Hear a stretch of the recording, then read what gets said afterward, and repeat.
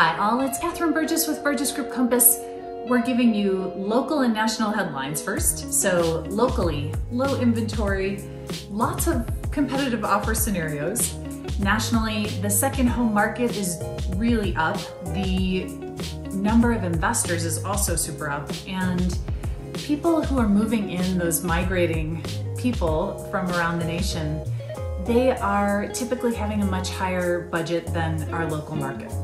So getting into all of this uh, in depth now, um, 1.40 month supply of inventory was what we had in Boulder County last week. So compare that in this chart to what we've seen in the last four years. We're not horribly off, but we are definitely a little bit lower and we do have a really robust number of buyers circulating in the market. So it's, it's a quick market right now.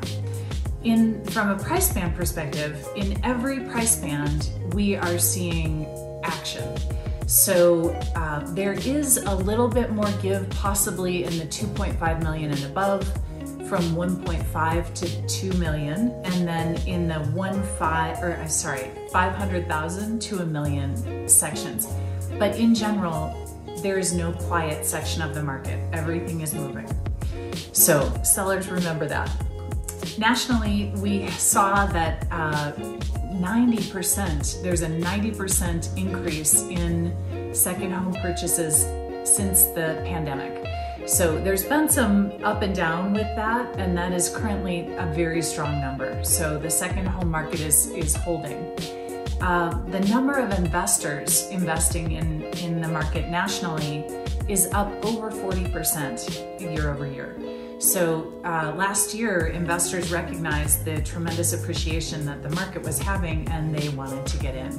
So that is another way that the market has gotten tighter. This is our cuckoo clock. Um, so then the last point nationally is that there the national migration continues. It's a lower rate than it was before but it, it's still a very important part of what's happening in our markets. And nationally, it's uh, out of town buyers have a 30% bigger budget typically than local buyers.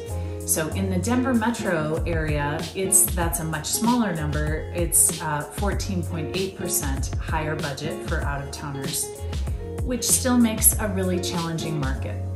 So we did have tremendous success last year getting our clients under contract, typically on their first, second, or third offer. And uh, so there are ways to do it and there are ways to be successful. You just have to be very strategic and um, be open to coaching. So then uh, sellers, as you can hear from all of this talk, it is an incredible time for you to sell.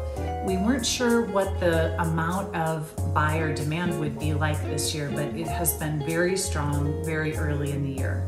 So if you have a challenging to sell property, or if you just have a gorgeous property and want to retire early, or do, do something wonderful with some extra unexpected proceeds, now is the time.